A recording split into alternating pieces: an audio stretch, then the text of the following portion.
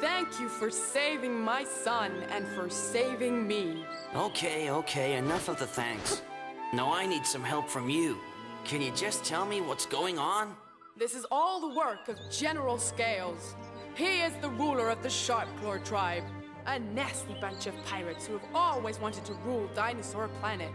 We have always been able to stop his attacks, but this time he somehow become stronger and defeated our army at the Krazoa Palace. Right, a bad guy. But how did the planet get in such a mess? Within the Krazoa Palace, he broke the seals of the Force Point temples. I'm listening. This planet is rich with a magical force, a force so strong that it is continually pushing our world apart. To stop this, four spellstones were placed inside the Force Point temples. Uh, okay, that's a bit weird, but I understand.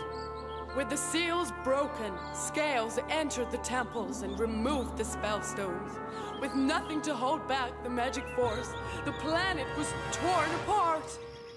At last, it all makes sense.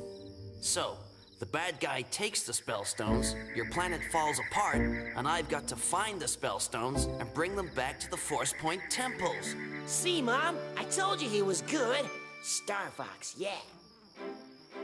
My son will remain with you, for only a dinosaur of noble birth can breathe life into the spellstones. What? Uh, that's okay, but don't you think he's a bit young? Uh, I mean, it's gonna be very dangerous. Loads of bad guys, fighting, death. He knows the planet well, and I'm sure he's shown you his sidekick skills. Oh, yeah. I forgot about those. Come on, Fox. We'll make a great team. Okay, but if you mess up just once, I'll send you straight back to Mommy. Okay, yeah, yeah. Good. Now, our spies have indicated that Scales was last seen in Dark Ice Mines. I know the gatekeeper, Garunda Te, a silly fellow, but he can guide you to the Spellstone.